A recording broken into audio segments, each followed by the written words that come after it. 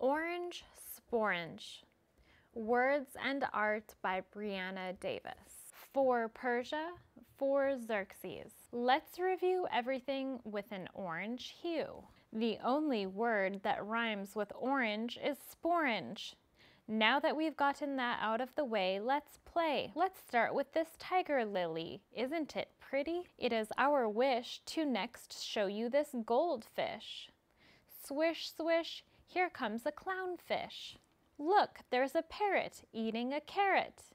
A fox in a box. A tiger on a wire. A dark monarch.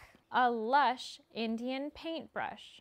A cone in a construction zone and a Baltimore Oriole on a flagpole.